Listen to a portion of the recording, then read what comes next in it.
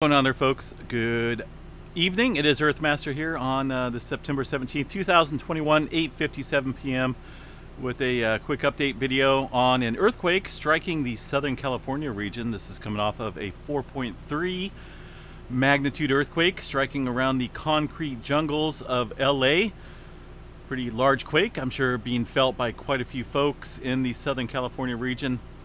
There is the earthquake around Carson, California, right in a highly densely populated region.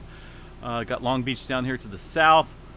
And uh, no doubt quite a few folks reported feeling this earthquake at uh, about 11 kilometers below the surface. There was a small aftershock just, uh, well, that earthquake was just about an hour ago, it looks like.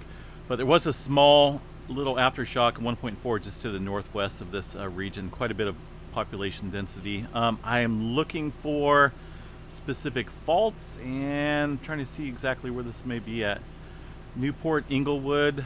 I know there's a lot of fault systems within this area. USGS only showing a few, but it uh, appears to be. Yeah, it's hard to tell on this specific map. There's a bunch of them down there. Anyway, anyway, a 4.3 got some hiccups going on. 4.3 striking the uh, Carson, California area.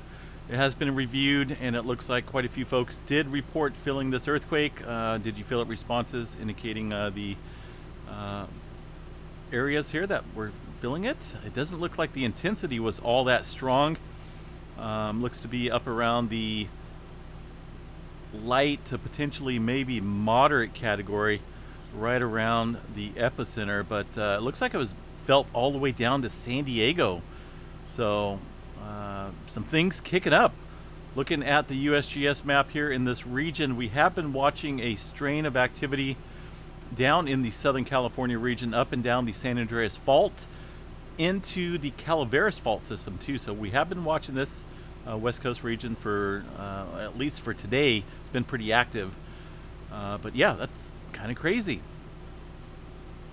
I'd like to know exactly which fault system this was on here. I will dig into this a little bit more. Um, if you did feel this earthquake, folks, please let me know what it uh, what it may have felt like. If it was a jolt, rolling motion, um, and so on, and your location in relation to the earthquake. That way, I can kind of get a good indication of maybe potentially what type of fault system this this was on, whether it was like a rolling motion or like a jolt let me know. All right, guys. Once again, 4.3 in Southern California. Be on guard. We'll chat you guys a little bit later.